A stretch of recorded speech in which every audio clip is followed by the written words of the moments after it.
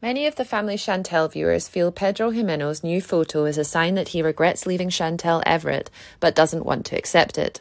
The 31 year old Dominican man recently signed off divorce papers in May when he realised he could no longer stay with his American wife. After the split from Chantel, Pedro moved out of the house and started focusing on his job as a real estate agent. Recently, Pedro posted a video of himself wearing a turtleneck long sleeve sweater on Instagram, in which he proudly claimed, Nobody is going to take away my happiness and my desire to work and be successful. However, most of the family Chantel fans felt he wasn't doing well and was lying about his mental state.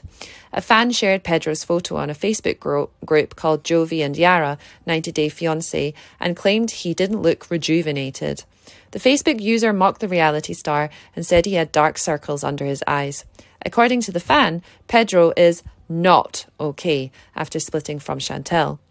Others agreed with the OP and shared their concerns. A fan wrote, Wow, he really looks like he's been through the ringer. He's aged 15 years, and added that he didn't look happy in the photo. Another fan commented, He doesn't look healthy. He at least looked healthy when he was with Chantel. Someone else shared that Pedro used to be an extremely handsome Dominican man, but leaving Chantel has caused him to look sick and strange in the worst way possible.